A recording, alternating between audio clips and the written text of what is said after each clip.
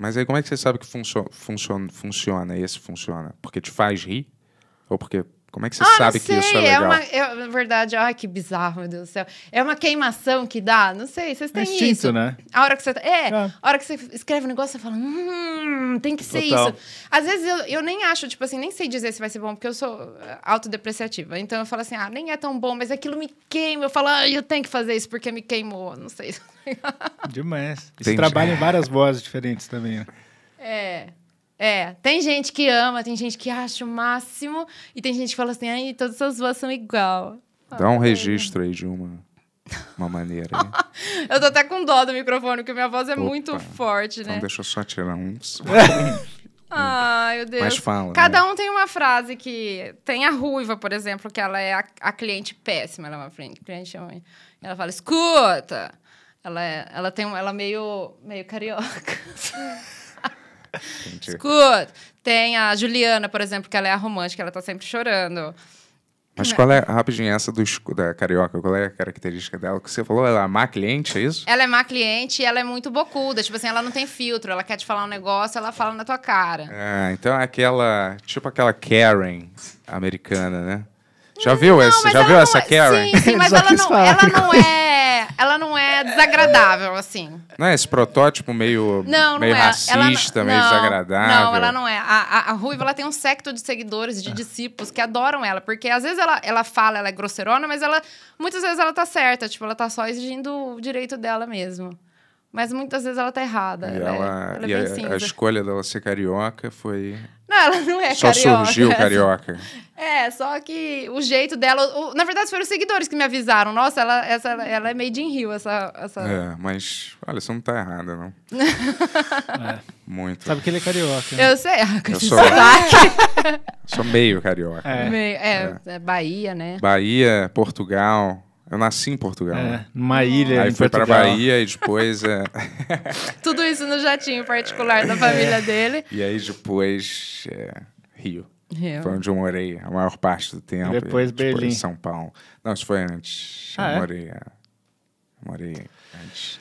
Lugares sofridos, pessoal. É, é.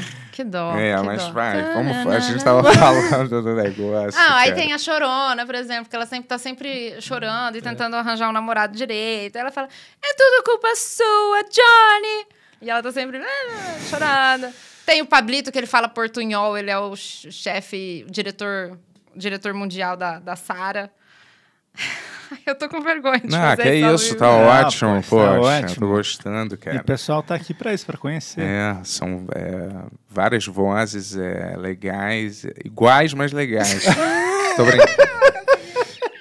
É Tem brincadeira. a, che a chefe, por exemplo, a chefe ela fala bem mais devagar, ela é bem mais malvada. Então ela fala. "Ah, Oi, novata. Ela tem um negócio mais. Não, olha, é maneiro, hein? É, tem o cara que fala portunhol, que ele fala Charles! É mais. A voz dele é mais assim, um tiro.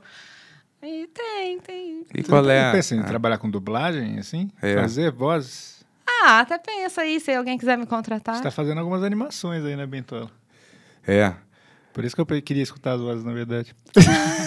Se alguém quiser me contratar. Mas você não vai atrás de nada. Ela vai pra ela, né? Ah, gente, é, sim, entendi. Mas você não é. Entendi. Cara, eu não tenho nem confiança pra isso, de verdade. Eu não Ah, é tenho. besteira, pô. Sério, eu não tenho essa moral assim.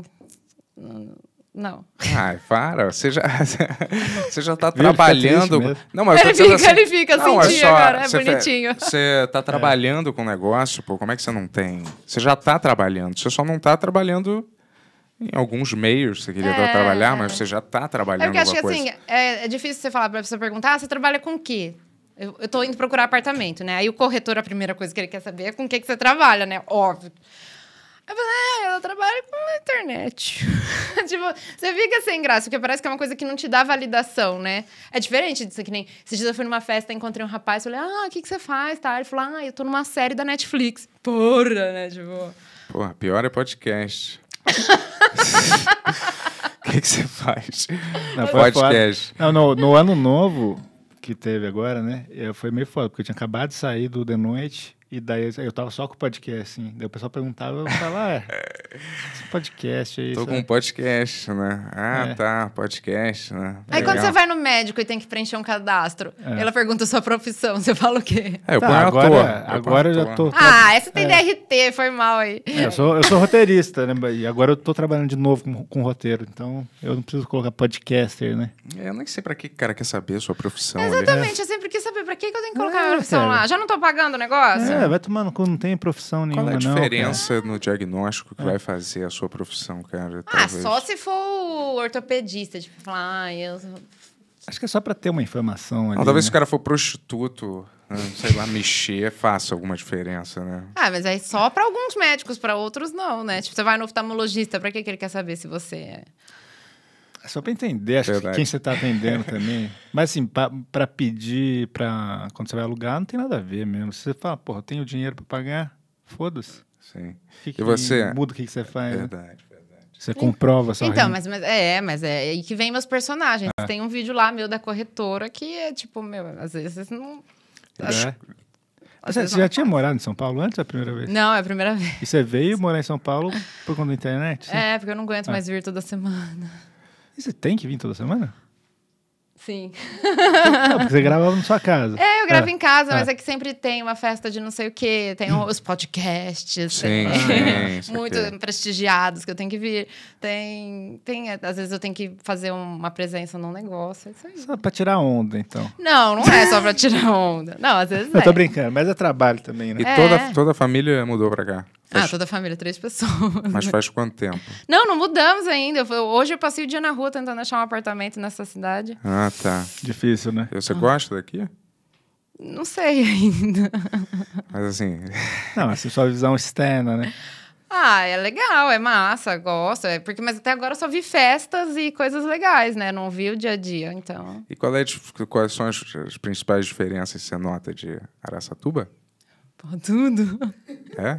Tudo, É. né? Lá nunca, nunca você fica parado no trânsito. Asfalto, né, também. Ah, tudo, né? O tamanho, quantidade de gente. Sol? Tem mais sol lá? Pô, lá é um calor. Lá eu não- acho que, eu, acho que só perde pra Cuiabá. Ah, Nossa, que horrível. Lá, na minha casa tem ar-condicionado na cozinha. Vê o nível do calor. É. É muito quente. É, eu vou te falar que é uma adaptação, viu? É. morar aqui em São Paulo, eu acho, sabe? Não sei, eu, do, do Rio pra cá foi, foi foda. Mas depois que eu me adaptei, eu preferi ficar aqui. Apesar de eu achar que aqui é super depressivo, você fica mais depressivo aqui. É. É. A partir daqui eu preciso. Eu me fu- fudeu minha cabeça quando eu comecei a morar aqui. Seja bem-vindo. Desculpa te falar isso, mas a partir de que eu comecei a Ah, morar gente aqui, minha com o celular cabeça- na boca falando, não fala isso pra ela, pelo amor de Deus. Tem um monte de festa que eu tenho que levar ela, eu não aguento mais. Cuidado, eu vou- a minha cabeça ficou estragada morando aqui. Ainda mais se você começar por algum motivo a ganhar muito dinheiro, toma cuidado, hein? Foi o que É. aconteceu com você. Cuidado.